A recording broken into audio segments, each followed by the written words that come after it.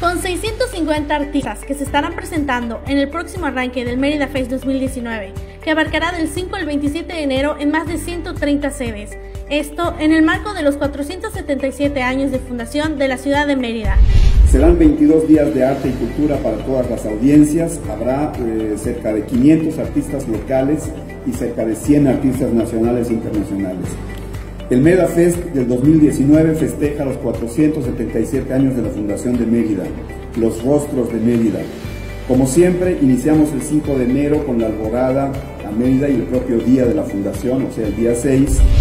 Reunidos en el complejo comercial Paseo 60, el alcalde Renan Barrera anunció que entre los eventos más destacados figuran el concierto Tributo a Mérida, con la presencia de Alicia González, Noam Rittner, Flora Amargo, Cacho Medina, Rodrigo de la Cadena y Armando Manzanero.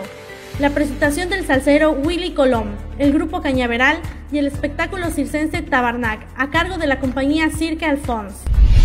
Es una cartelera que tiene prácticamente 600 eh, diferentes artistas que van a estar a lo largo de 20 días eh, participando en este, en este festival, en este Mérida Fest 2019 y más de 130 sedes en las cuales vamos a tener espectáculos para todos los gustos, para todas las edades, para todas las generaciones que hoy queremos disfrutar y celebrar a nuestra bella ciudad de Mérida. No hay mejor manera de hacerlo que a través de gente que tiene algo en común. Añadió que con estas actividades el ayuntamiento cumple su compromiso de subrayar los valores a través del diálogo multicultural, homenajear a meridanos ejemplares, reflexionar sobre el campo cultural y el arte en las ciudades, además de acercarlo a nuevos públicos con una oferta artística de calidad.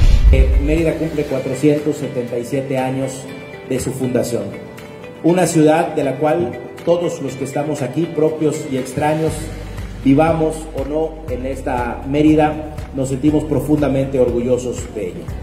Y este festival está pensado precisamente para poder honrarla, para poder reflexionar sobre hoy en un contexto mundial, en un contexto nacional, con eh, claroscuros, podamos también celebrar una de las mejores ciudades del mundo entero que es esta.